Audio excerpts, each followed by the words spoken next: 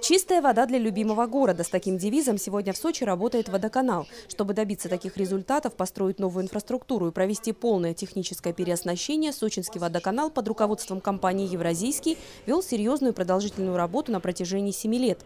В городе запущено несколько объектов водоснабжения и водоотведения. Построен Верхнем Зымтинский водозабор, готов и магистральный водовод, который позволит подавать дополнительный объем воды в центральную часть города.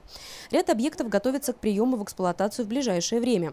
Это несколько перекачивающих станций, а также вторая очередь бзугинских очистных сооружений, строительство которой позволит закрыть пять старых насосных станций. А стоки Центрального и Хустинского районов будут очищаться по новым технологиям. В еще более усиленном режиме сотрудники водоканала трудились во время проведения зимних игр. Мы практически вдвое увеличили свой состав. Мы э, закупили порядка 50 единиц абсолютно новой современной специальной техники. Э, порядка 600 единиц оборудования и средств малой механизации, позволяющих э, значительно сократить время производства работ при э, восстановлении после аварийных ситуаций. Огромная работа. Мы в период, в период подготовки полностью ушли от применения жидкого хлора. Город Сочи на сегодняшний момент один из немногих городов в России, который полностью отказался от применения жидкого хлора это обеспечение безопасности прежде всего населения нашего города.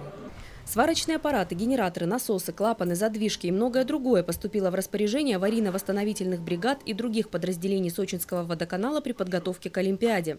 Работники предприятия были готовы ко всем непредвиденным ситуациям. Наша организация в силу специфики работы и в обычные дни не сидит сложа руки, приходится ну, так или иначе аварии случаются, ну и профилактические работы никто не исключает, но в дни Олимпиады, конечно, пришлось работать в более напряженном режиме, чтобы не подвести город. Переход водоканала на более качественное водоснабжение и водоотведение отметил и глава Сочи. Известно, что в городе реконструированы и проложены новые канализационные сети на ряде улиц, построены водоводы. Уровень аварийности заметно снизился впервые за последние 20 лет.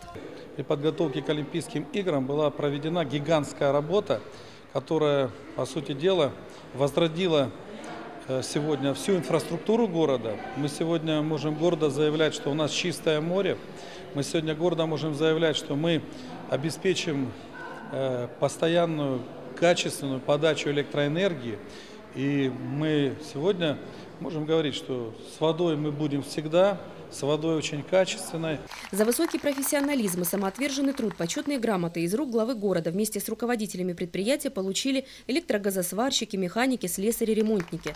Таковы были итоги работы прошлого года.